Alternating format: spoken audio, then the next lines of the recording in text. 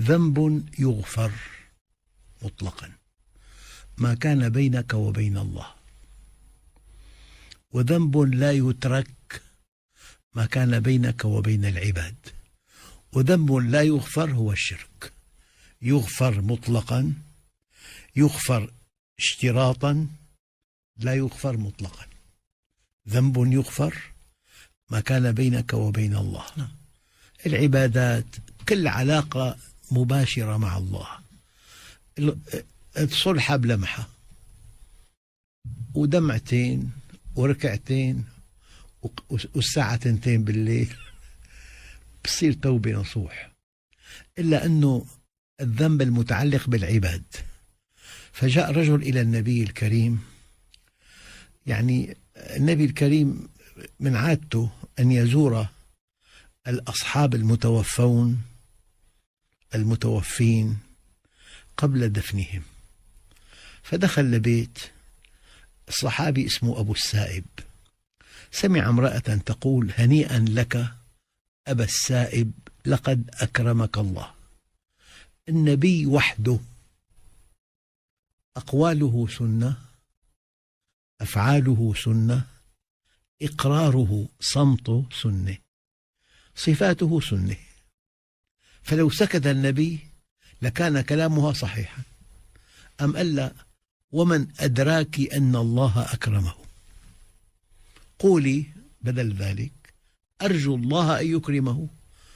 بدل أكرمك فعل ماضي قطعي الدلالة والثبوت أرجو الله أن يكرمك. ألا وأنا نبي مرسل لا أدري ما يفعل بي ولا بكم. يا الله. ليس من شأن البشر وفيهم سيد البشر أن يحكموا على إنسان بمصيره إلا بوحي من الله. عند الأنبياء. واضحة تمام سيدي؟ نعم. النقطة الدقيقة لما النبي الكريم دعي إلى الصلاة على إنسان سأل أعليه دين من صحابته؟ قالوا نعم. قال صلوا على صاحبكم. ما صلى عليه فقام رجل مخلص أخ كريم لهذا الصحابي الجليل الذي توفي قال له علي دينه. فالنبي صلى عليه. في دار ضامن في إنسان ضمن الدين فصلى عليه. فلما انتهى من صلاته سأله في اليوم التالي أأديت الدين؟ قال لا. سأله في اليوم الثالث أديت الدين؟ قال لا في اليوم الرابع قال أديت الدين؟ قال نعم قال الآن ابترد جلده لذلك حقوق العباد مبنية على المشاححة بينما حقوق الله مبنية على المسامحة يعني للتقريب آه، عندك سفرة مهمة إلى العقبة مثلا. في بل... وفي قطار هذا افتراضي المثل وفي درجة أولى. نعم. ودرجة ثانية ودرجة ثالثة. أنت قطعت درجة أولى وأخطأت وركبت حافلة بالدرجة الثالثة. هي غلطة. لكن القطار سيصل إلى الوجهة المطلوبة. والمبلغ جاهز. نعم. أو أنه أنت جلست بعكس اتجاه القطار شعرت بدوار. هي غلطة غلطة ثانية. لكن ستصل للوجهة. والغلطة الثالثة اخترت هاي العربة فيها شباب عندهم رعونة وعندهم مزاح رخيص. كمان غلطة ثالثة. الغلطات الثلاثة كلها لا تقدم ولا تؤخر عند الهدف. صحيح. أما أكبر غلطة تطلع من عمان للشام والمبلغك بالعقبة. أخذت طريق آخر. هذا الشرك.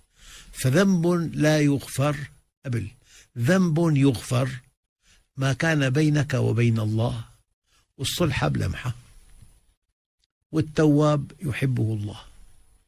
وذنب لا يترك ما كان بينك وبين العباد. لا لا يغفر هذا الذنب المتعلق بالعباد إلا بإحدى حالتين بالأداء أو المسامحة يؤدى أو يسامح. وذنب لا يغفر هو الشرك بالله. حينما نقول لا يغفر الشرك بالله دكتور يقصد به أن تموت أن مشركا يموت مشركا. لكن لو كان في حياته مشركا ثم قل بدل يا فأسلم. عبادي الذين أسرفوا على أنفسهم. أسرف. نعم. لا تقنطوا من رحمة الله. إن الله يغفر الذنوب جميعا. حتى لو كان الشرك لو أسلم فالإسلام يجب كفر ما قبله. شرك أي نعم. مهما تكن الذنوب الفكرية العقدية نعم. والسلوكية والمصيرية. ما دام في توبة نصوح الذنب يغفر. والإسلام يعد توبة عن الشرك والإلحاد والكفر والشرك. والإسلام يجب ما قبله. يا سلام. وإذا تاب العبد إلى الله توبة نصوحة دقق. أنسى الله حافظيه الملائكة وبقاع الأرض كلها خطاياه وذنوبه. سبحان الله ما أوسع رحمة الله. نعم. إذا دكتور الذنوب ثلاثة ذنب بينك وبين الله هذا يحتاج إلى توبة. توبة. هل لنا أن نتعرف على شروط هذه التوبة دكتور حتى تقبل؟ التوبة ثلاث شروط لها الندم على ما مضى. طيب، اسمح لي دكتور كيف يكون الندم؟ يعني واحد لم يكن يصلي. لعب بالقمار. مم. وخسر كل شيء. ندمان على غلطه. عنده بيت وسيارة وعنده معمل. كله باعه وقامر فيه. خسر كل أمواله. رجع للصفر. ندم. عصى الله ودفع الثمن. نعم. هذا الندم أحد أركان التوبة الصحيحة.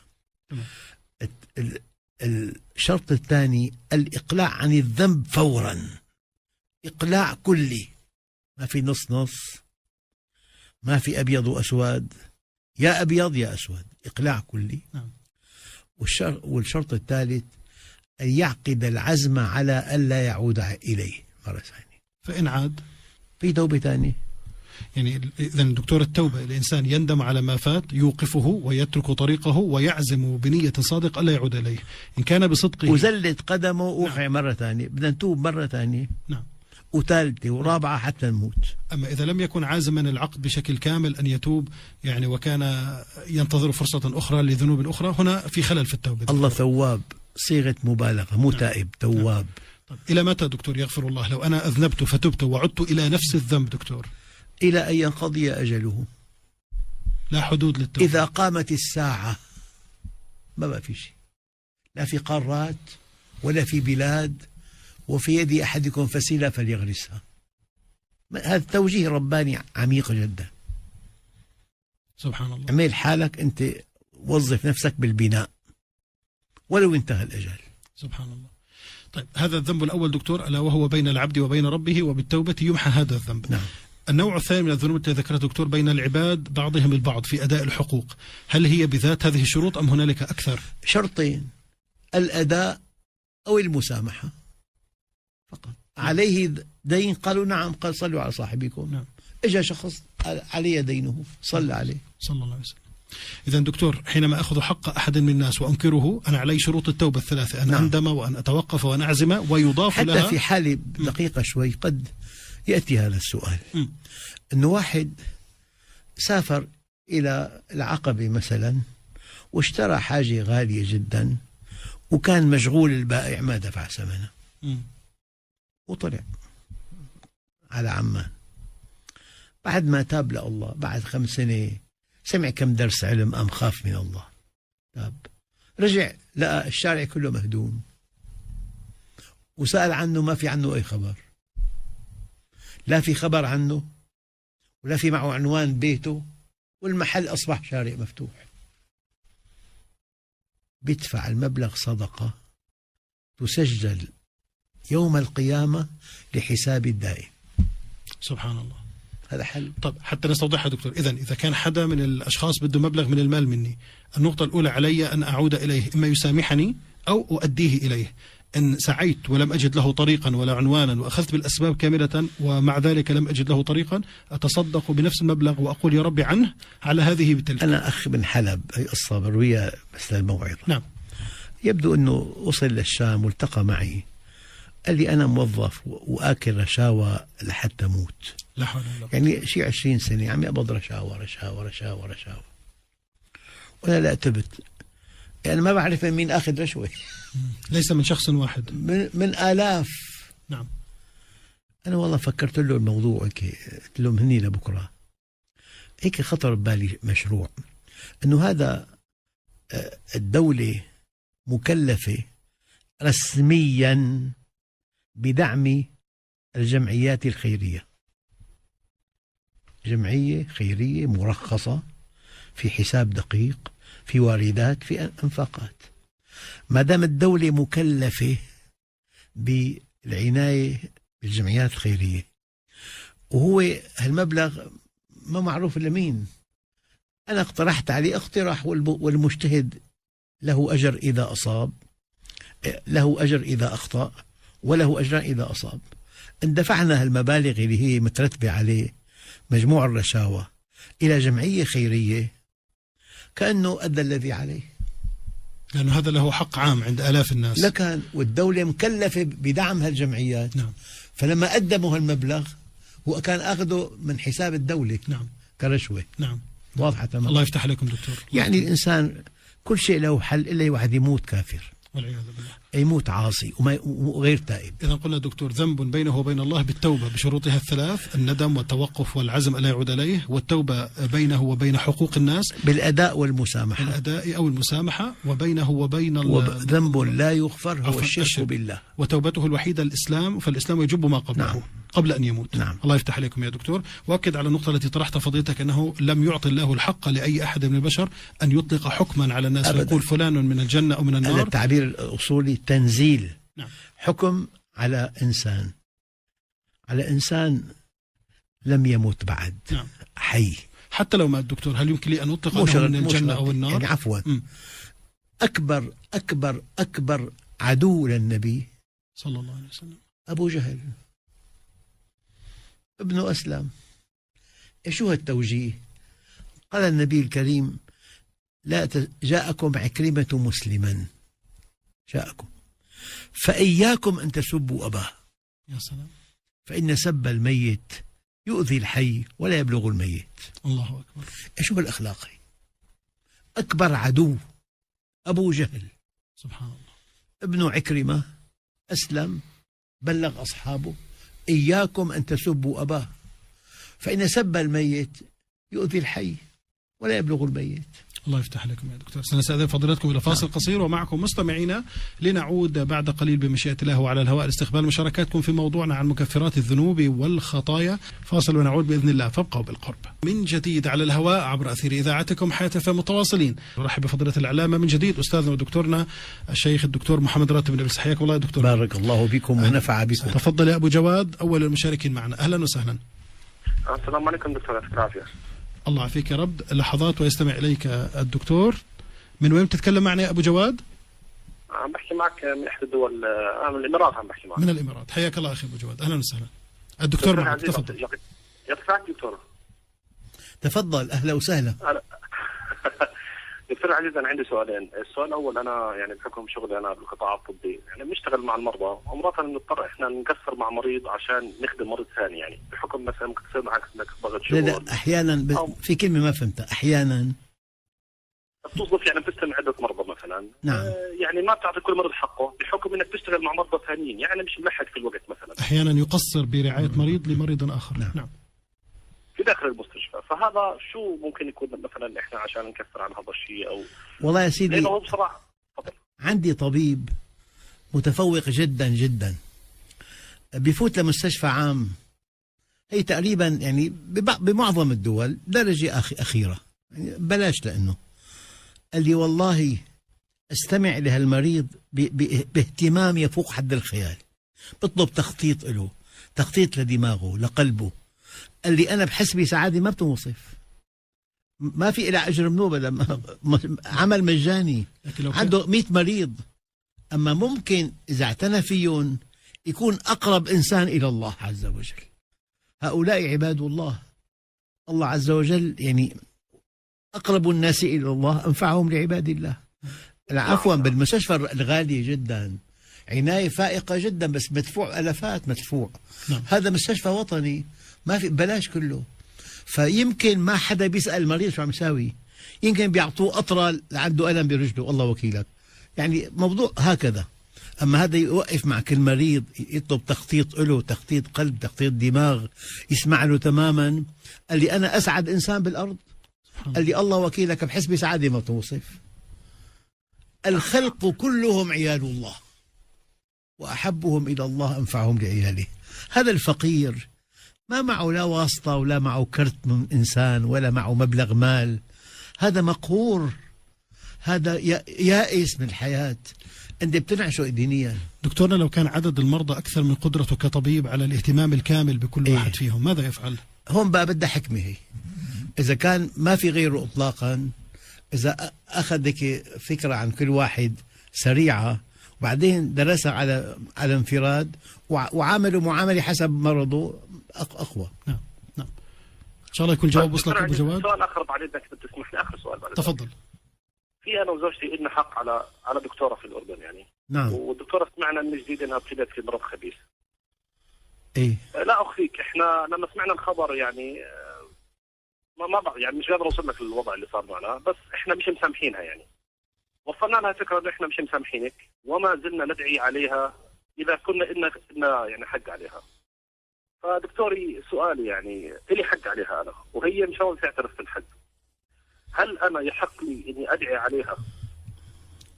والله يا سيدي الكمال أن... مش قادر أنسى الحق من سبع الكمال. أن تعفو عنها وأن تدعها إلى الله عز وجل. هذا الكمال. في عنا في عنا حقوق وعنا كمال. الكمال أن تعفو عنها. الله عز وجل قال فمن عفا دقق وأصلح. يعني هو إذا عفى عنا بقربها لله هي مرتكبه اخطاء كثيرة لأنه نحن سامحناك. فمن عفا وأصلح فأجره على الله. أنا أعرف شخص تزوج امرأة بالشهر الخامس حملها في الشهر التاسع. في أوضح من هيك؟ منتهية العملية نعم. قال لي بإمكاني طلقها أو أفضحها أو اذكر سبب طلاقي له والشرع معي والقانون معي وأهلها معي. حبيت احملها على التوبة. أخذ المولود اللي مولود بالشهر التاسع وزواجه بها من الشهر الخامس. أخذ المولود ودخل على جامع الورد بحي سنجقدار بالشام. وضعه وراء الباب. بعد ما نوى الإمام الفرض ما حدا شافه. حطه وراء الباب والتحق بالمصلي. الصلاة بتطول بالفجر في ركع في كل ركعة في صفحة. انتهت الصلاة بكي المولود تحلق الناس حوله وتأخر. حتى أيقن أن كل من صلى رأى هذا اللقيط. أما تدخل هو قال خير شوفي. قال له في لقيط. شو الحكي قال له تعال شوفه. طلع هيك قال لا حول الله. أعطوني إياه.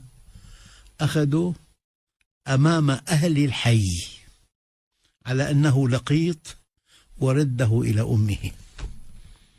الرواية هكذا والراوي مفتي. هذا الشخص رآه رأى النبي الكريم. لا إمام المسجد رأى النبي الكريم قال له قل لصاحبك إنه قريب من الله. يعني بلغ سلامي من الله عز وجل. الله الستر سيدي عمل عظيم جدا. نعم. أنت لما سترته انعشته احييته طيب اذا دكتور أنا أفهم من فضيلتكم بأنه أبو جواد وزوجته لهم حقوق مؤكدة على طبيبة أخرى. الآن الكمال وهو الفضل والمعاملة الأمثل أن يعفو عنها والعوض من الله. نعم. إذا لم يرد أن يصل هذا الكمال إذا أراد أن يدعو عليها ما في عليه شيء. ليس بآثم. لا لا يعني يحق له أن يدعو عليها. أبدا حقه نعم. لأنه نعم. في حق. نعم. إذا هذا هو الحق لكن نعم. الفضل والعدل أن يسمو فيعفو والعوض نعم. من الله. لكن إن دعا عليها لا غبار لكن أحيانا في حالات أخرى. فمن عفا وأيقن أن عفوك عنه يصلحه فأجره على الله نعم. ساعتها الله بيتولى المكافأة دكتور اسمح لي أنه هاي الفكرة بدها توسع وتفصيل ناخذ الاتصالات ونعود لها آه، متى أعفو ومتى نعم. لا أعفو نعم. من الشرعية الله يجزيك أهميتها بس ناخذ اتصالات نعم. ونعود نعم. بشكل كامل لحضرتكم للتفصل فيها أبو عمر باتصال جديد تفضل السلام عليكم. وعليكم السلام ورحمة الله وبركاته. الله يعافيك عمرك ويسعدك تفضل يا أبو عمر. الله يسلمك يا رب. أنا عندي سؤالين والله بس عندي كلمة هيك حاب أحكيها قبل ما أحكي السؤالين إذا سمحتوا لي بإجازة إن شاء الله. تفضل. هلا أنا إحنا كشعب أردني يعني محظوظين كثير وحتى مستمعين حياة أف أم وحتى قناة حياة أف أم محظوظين بوجود أسماء عظيمة يعني الحمد لله اللي قادرين يوصلوا لنا إياها بوزن الدكتور والدكتور زغلول النجار. يعني فهاي كلمه حبيت إني أحكيها وعندي سؤالين والله. الله يكرمك تفضل. هلا السؤال الأول هو بجوز بصلب موضوع الحلقة اللي هو الشخص اللي أذنب في حق والده المتوفى. في حياته طبعا. هلا كيف ممكن يكفر عن هذا الذنب بطريقة أو بأخرى؟ نعم. هذا السؤال الأول. والسؤال الثاني بجوز بعيد عن موضوع الحلقة ولكن أنا بحثت فيه كثير ملف ووصلت لإجابة واضحة. تفضل. الدكتور يوضح لنا إياها. اللي هو هل إحنا بنقدر نعتبر القاعدة الشرعية إذا ما ورد بالنص القرآني أو النص اللي اجى من سيدنا محمد في الأحاديث إذا ما ورد النفي يعني مثلا على سبيل المثال عشان توصل الفكرة الرسول عليه الصلاة والسلام قال خير متاع الدنيا الزوجة الصالحة. وانتهى الحديث يعني بما معنى الحديث. هل العكس صحيح في هذه الحالة أو يجوز إنه نحكي العكس صحيح؟ طيب الفكرة واضح السؤال؟ الفكرة واضحة تماما. بارك الله فيك أبو عمر شكرا لك. لنستمع إلى أبو طه. تفضل يا أبو طه. السلام عليكم. وعليكم السلام ورحمة الله وبركاته. الله يعطيكم العافية يعطيكم الله يعفو عمرك يا. رب والله أنا أدعي لكم ظهر الغيب إن شاء الله. الله يكرمك يا رب. آه، دكتور في لي صديق آه، بصراحة يعني من فترة بسيطة جدا يعني بعون الله عز وجل أخذت في إيده حتى أنه التزم الحمد لله. ولكنه يعني آه، كان من آكلين الربا والنصب والخمر والزنا إلى آخره صدقا كل شيء تمام؟ نعم. فأنا يعني شغله واحدة اللي قدرت إني يعني شوي إني أجتهد فيها بناء على يعني مش مني اجتهاد مني لأنه مش من أهل العلم أنا. اللي هي موضوع حقوق الناس في المال النصب اللي نصب على الناس وهو ما بيعرفهم. فأنا اجتهدت قلت له لو كل جمعة يعني هو رجل متعثر ماليا لو كل جمعة قدرت إنه لما تدخل صلاة الجمعة تحط دينار واحد وبنية إنه عن الناس اللي أخذت منهم فممكن إنه رب العالمين الله عز وجل إنه يغفر لك أما الأمور الثانية يا ريت إنه نستمع من فضيلتك يا دكتور. وبس هذا السؤال والله. بارك الله فيك نعم. يا أبو طه. شكرا لك. شيخنا الكريم نبدأ من حيث انتهينا بالمتصل الأخير أبو طه. آه إنسان دكتور كان آه آه ولا حول ولا قوة إلا بالله يقع في الكبائر كشرب الخمر و... وأكل حقوق الناس وما شابه. اليوم تاب. سؤال من شقين دكتور. ما هو كفارة هذه الذنوب كشرب الخمر وكذا؟ لا قبل سيدي. ماشي بطريق عرضه 30 متر. 30 متر. نعم. أنت ماشي بالنص. آه، ما هي الصغيرة؟ المقود حرفته سنتي واحد. سنتي واحد. لكن هالسنتي لو ثبته بعد دقيقتين وربع بالوادي. على اليمين في وادي لأنه. على اليسار في وادي. وعرضه 60 متر. فالصغائر إذا ثبتت إذا أصر الإنسان عليها انقلبت إلى كبائر. نعم. أما الكبائر إذا تاب العبد منها انقلبت إلى صغائر. فالحديث الشريف لا صغير مع الإصرار ولا كبير مع الاستغفار. الله يفتح عليك. أنت حرفته سنتي وثبته هل المعصية الصغيرة حجبتك عن الله؟ فاذا هذه الكبائر يعني أنت قطعت التيار ميلي واحد كله وقف. لا ف... لا ثلاجة ولا مكيف ولا آه، سريات. ما بقى في شيء بالبيت. ال... السنتي مثل المتر الكهرباء انقطعت. نعم. اذا شيخنا هذه الكبائر تحتاج توبة نصوح. نعم. وحضرتك وضحت التوبة في بداية قل يا. عبادي الذين أسرفوا. يعني ما خلى معصية ما سواها. نعم. من طيب. كل النواحي. الشق الثاني من السؤال نكمله. لا تقنطوا من رحمة الله. إن الله يغفر الذنوب جميعا.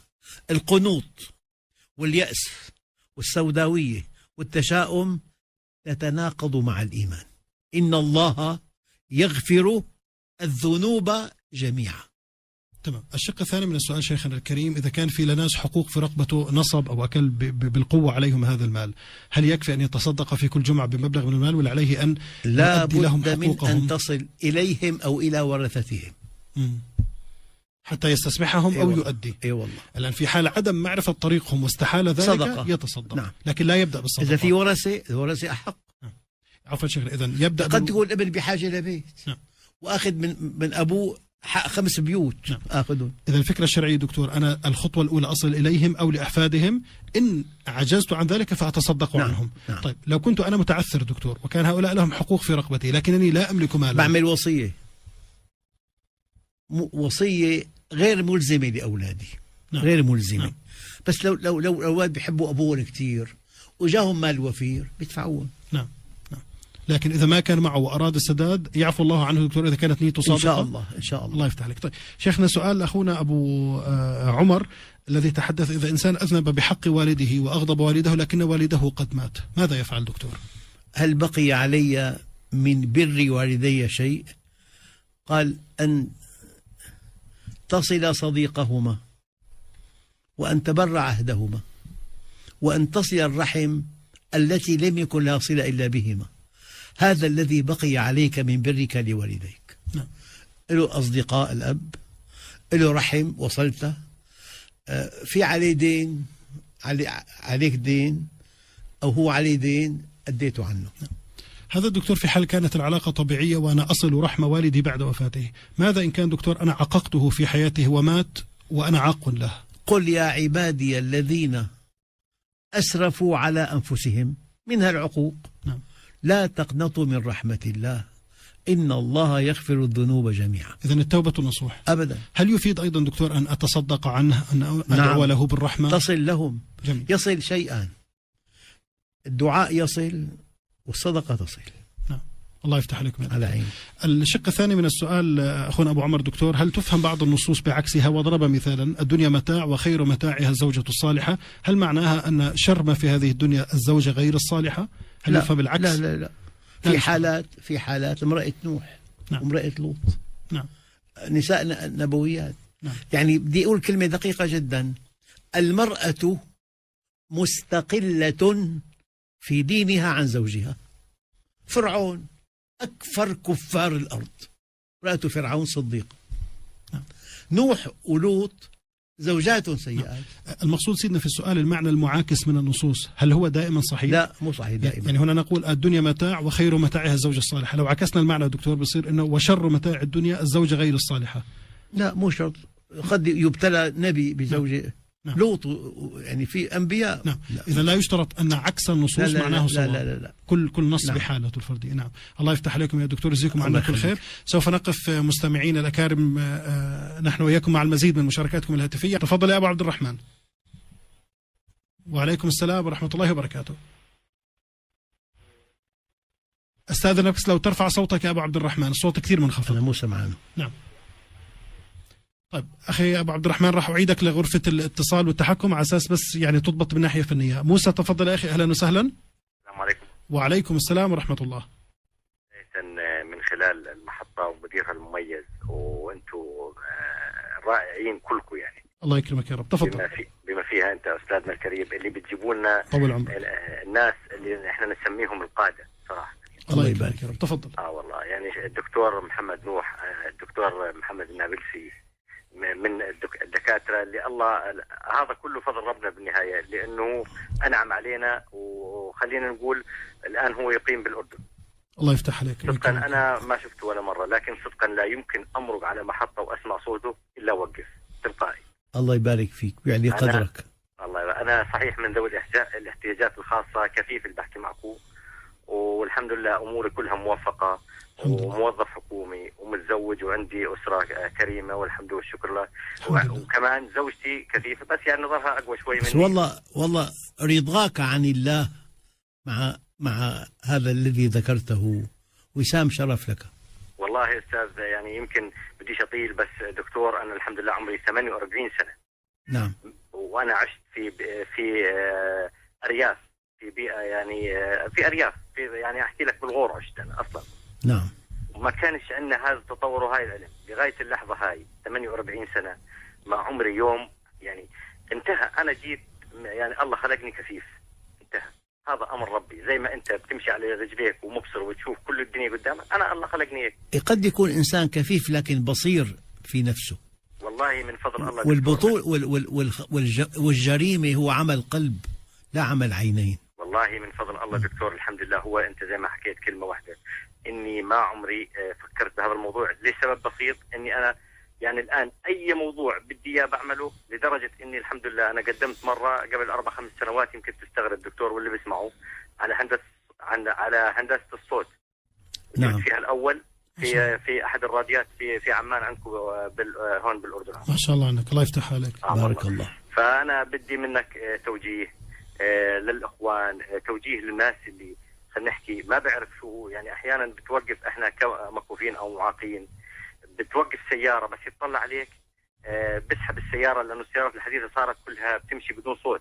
نعم. آه، لما بشوفك يا بنحرج يا بقدرش يوقفك أو بتضايق منك أو فأنا بدي رسالة منك لل... لل... للناس آه، إنه يا أخوان يعني يكون في حس شوية بالموضوع بحيث يراعوا كافة الإعاقات.